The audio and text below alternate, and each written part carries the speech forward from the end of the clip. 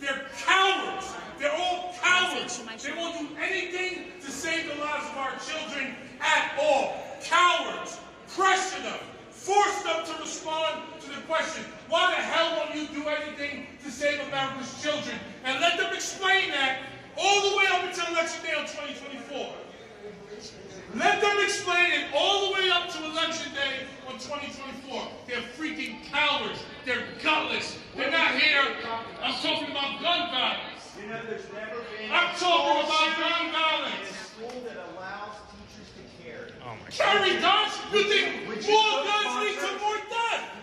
More guns lead to more death. Would you co-sponsor Look at the data. You're not looking at any data. The You're, data- you're, you're the carrying data. the water for the gun lobby. No, no, Look at the data. More guns lead to more deaths.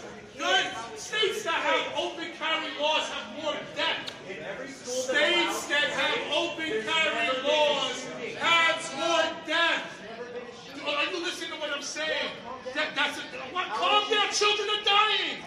Nine-year-old children. The, the solution is not arming teachers. Have you ever worked in a school? Have you ever worked in a school? Have you ever worked in a school? Have you ever worked in a school? It's a yes or no question. Have you ever worked in a school? You will not answer my question. Don't stop and talk to me. Thanks for watching our YouTube channel. Follow today's top stories and breaking news by downloading the NBC News app.